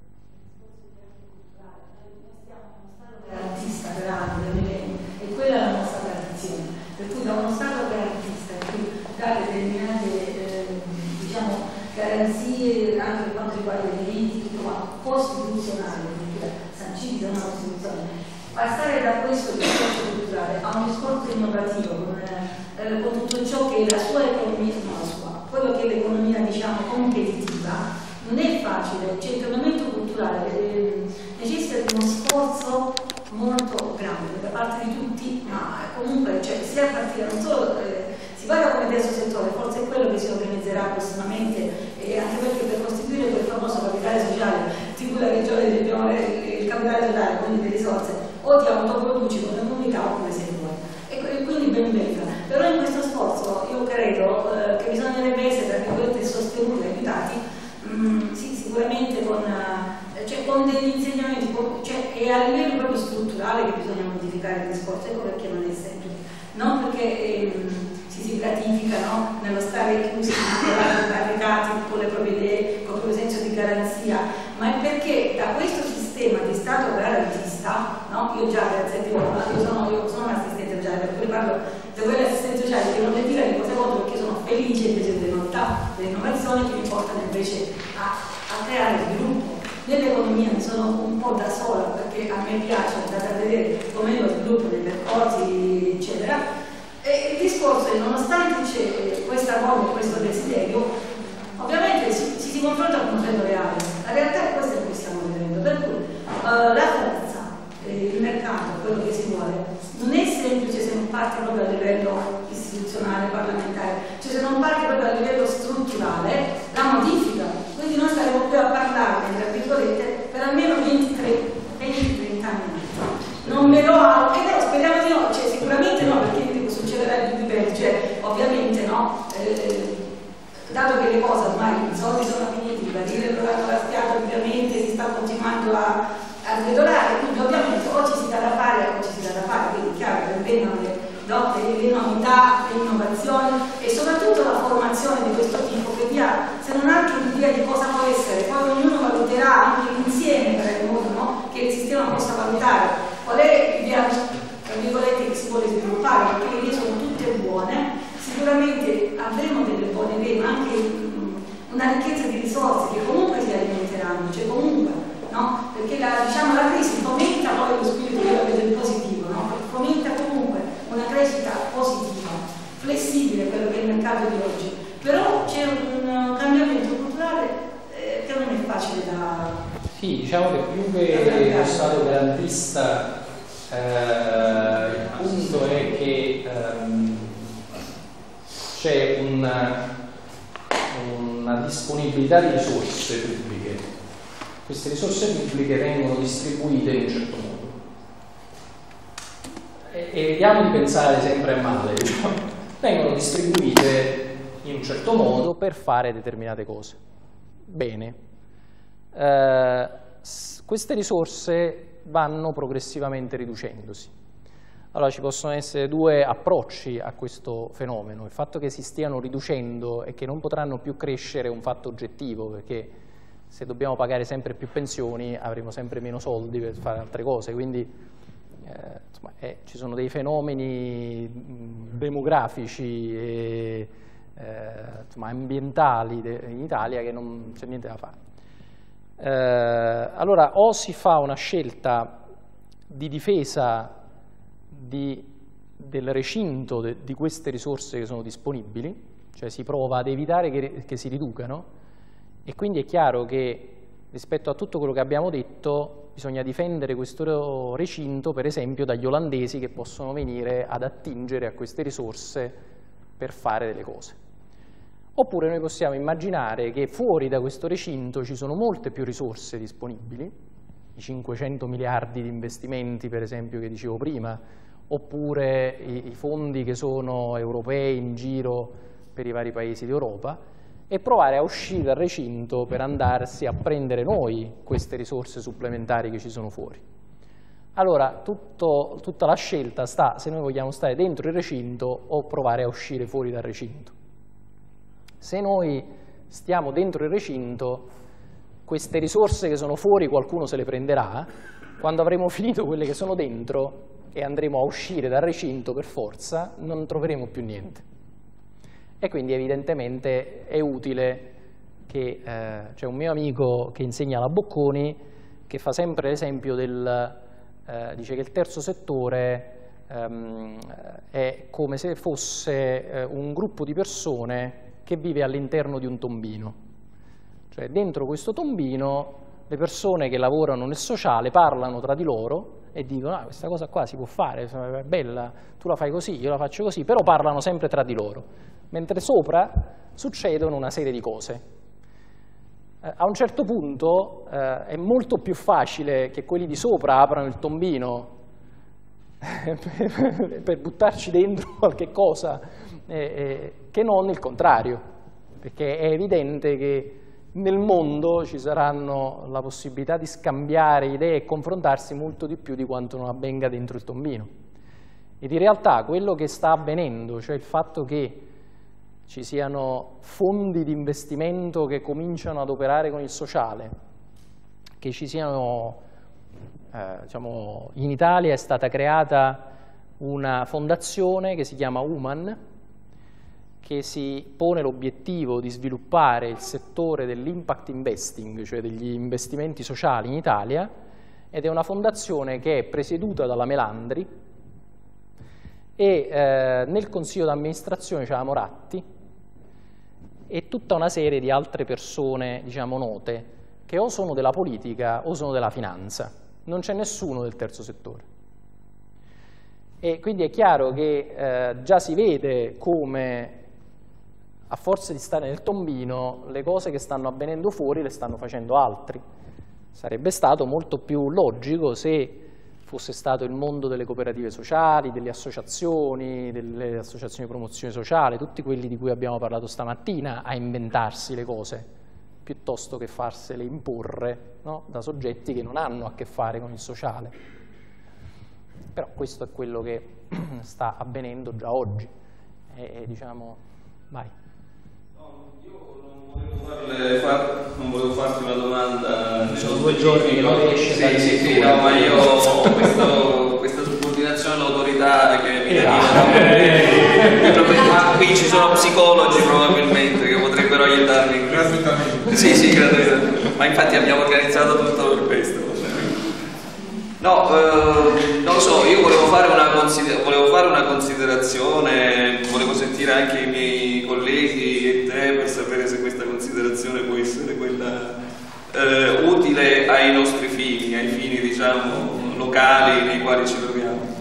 Ehm, perché partiamo proprio anche dal principio per il quale abbiamo organizzato questo nostro incontro, no? che è quello poi di stimolare, di dare del, degli impulsi, degli possano aiutarci ad avere un pensiero diverso rispetto al nostro futuro, a stimolarci ad essere protagonisti diciamo, nostra, del nostro futuro. Adesso non voglio usare slogan anni 80 antipatici e, e desueti, ma proprio ad essere protagonisti di noi stessi e quindi cercare di, con le nostre mani di aiutarci ad andare avanti lì dove il mercato del lavoro diventa complesso, non riusciamo a trovare una soluzione che ci venga incontro e ci aiuti. Uh, quello che tu ci hai detto oggi è stato interessantissimo dal mio punto di vista, ci ha fornito una panoramica di quello che, che, sono le varie opportunità che si aprono a chi vuole affrontare un progetto di carattere sociale, sia dal punto di vista giuridico e quindi le varie forme con le quali si può affrontare un'impresa di carattere sociale, ma eh, fondi, fondi, di finanziamento e quant'altro. Eh, ma ci è dato secondo me anche un, un, altro elemento di lettura che è quello della creatività, cioè nel senso eh, di pensare all'approccio al terzo settore non in termini consueti, ma in termini eh, laterali, per usare un altro elemento che alla Bocconi piace tanto, probabilmente lo direbbero in inglese, io che sono al di sotto. e, cioè nel senso che secondo me poi l'aspetto che più interessa a tutti noi, no? cioè cominciare a pensare che lo stesso problema può essere risolto con modalità differenti e quindi nell'ambito del sociale di opportunità di risposta, eh, di risposta alle esigenze del mercato del sociale ce ne possono essere tante, quindi magari per noi sarebbe interessante già stimolare noi stessi e magari potremmo anche pensare in un futuro di fare una sorta di brainstorming eh, collettivo anche perché mi sembra che ci siano anche delle, delle menti interessanti perché dagli interventi che ho sentito mi sembra che ci siano anche persone assolutamente molto interessata a questo settore e quindi magari cominciare, visto che questo è il primo di cinque incontri che ci saranno successivamente, che magari in futuro ci potrà essere anche, si potrebbero aprire anche delle opportunità diverse, cominciare a pensare, che ne so, la sto lanciando lì, eh, poi vedremo che cosa a pensare a modalità nuove per soddisfare bisogni ricorrenti. Ecco, perché quello potrebbe essere il nucleo, un seme di una nuova, eh, di una nuova impresa, di una nuova avventura che magari potendo approfittare di nuovi bandi, nuovi, eh, nuove opportunità di finanziamento potremmo mettere sul, sul mercato e verificare se ci sono delle opportunità perché questa sia poi eh, sostenibile, intelligente quant'altro, insomma. Cioè, secondo me, alla fine di questa giornata in cui tu sei bombardato di informazioni, molte delle quali a grandissima scala, che vanno su una scala molto più ampia di quella del nostro locale, potrebbe essere appunto interessante che ci mentalizziamo anche su questo aspetto, cioè cercare di pensare a modalità nuove, diverse, eh, settori che ci possono aiutare a risolvere, a dare delle risposte ad un mercato del sociale che oggi sono consuete, insomma. Cioè, infatti cioè, l'obiettivo di questa giornata era appunto quello di esplorare il contesto affinché ognuno di noi potesse uscire dal nostro recinto, dalle nostre convinzioni, dai nostri costrutti mentali che ci vengono ereditati addirittura imposti dalla società stessa, secondo i nostri canoni antropologici che vengono via via costruiti. Quello che, che ti chiedo, Marco, di uscire anche tu da, da un recinto dal tuo recinto, nel senso che oggi comunque abbiamo raggiunto l'obiettivo quello dell'esplorazione del contesto, quindi macro, e quindi ti chiederei di, di chiudere anche la giornata uscendo da questo recinto macro ed entrare in questo mh, mm, aspetto microeconomico che mh, mm, si rivolga appunto a, a, un consiglio che potresti dare a un tuo più caro amico che vive nel Salento nella, nella, strada da perseguire ecco questo eh, quale strada mh, insomma consiglieresti a bella domanda eh. no, diciamo che eh, eh, il, ehm, la, la, faccenda dei post-it serviva un po' a, a, a fare questo tipo di lavoro eh, perché ovviamente io non posso darvi le risposte rispetto al vostro territorio. Eh, quindi quello che è utile fare, eh, magari con una modalità guidata, mh, mm, non so se i, i, docenti delle prossime giornate o anche diciamo, voi vi posso dare qualche consiglio a distanza, eh, far emergere quelle che sono eh, dire, delle problematiche sociali più forti e più sentite del territorio. Eh, individuare quella che chi vuole diciamo, entrare in questo gioco eh, ritiene assieme quella più eh, significativa su cui agire e provare a inventare, a pensare eh, fuori dalla scatola, out of the box, come dicono sempre quelli bravi, eh, delle soluzioni eh, come dire, liberandosi da, come è, dal come si è sempre fatto e cercando di pensare su un caso specifico, eh, su un problema specifico del territorio, come affrontarlo. Una volta che verranno fuori delle soluzioni, starà diciamo, stesso a voi individuare quale vi convince di più tra queste soluzioni come dire, innovative che vi sono venute in mente. Ed è chiaro che potete anche confrontarvi poi, cioè ormai di di social media dove potete mettere, c'è per esempio una piattaforma che si chiama Kublai dove fa, si fa proprio questo, si spostano le proprie idee e, e, si chiede ad altri di contribuire su questa piattaforma a ragionarci su. Se l'idea è interessante i commenti saranno molti e aiuteranno molto, se l'idea è una fesseria non attirerà l'attenzione di nessuno. Quindi eh, direi che può, potete provare a fare questo tipo di lavoro, però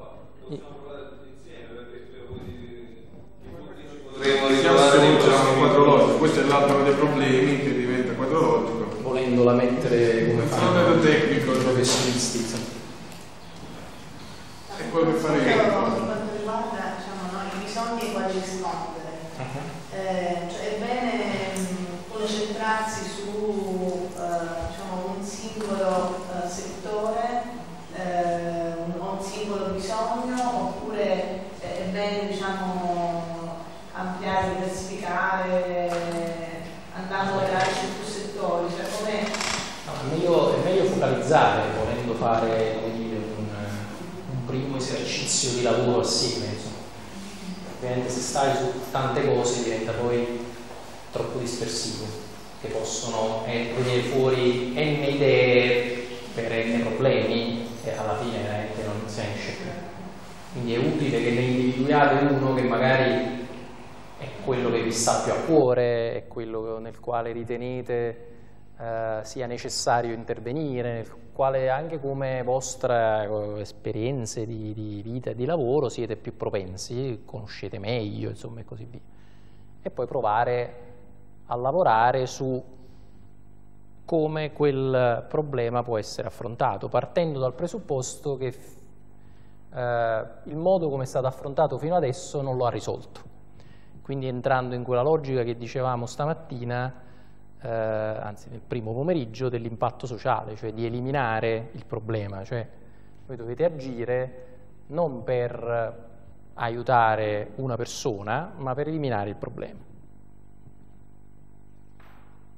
È chiaro che se voi riuscite a trovare una soluzione per eliminare il problema, un problema sociale rilevante, qualcuno che, che ve la finanzia o che se la compra, lo trovate.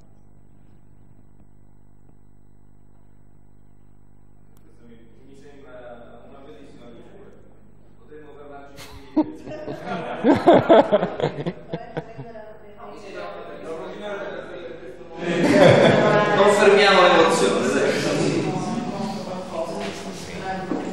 Abbiamo questo patrimonio dei vostri contatti, insomma, ci attiviamo per creare questa, questa rete già prima del, del prossimo incontro, iniziare. Il prossimo incontro lo ricordiamo che è 4, il 4 novembre. Eh, Una statistica, quanti di voi sarebbero interessati a costituire una cooperativa? Cioè, Una cooperativa sociale. ad alzare di mano, dico.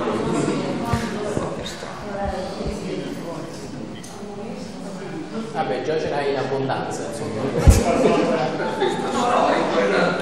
Eh, Come dicevi, tre genotipi, no? Grazie mille.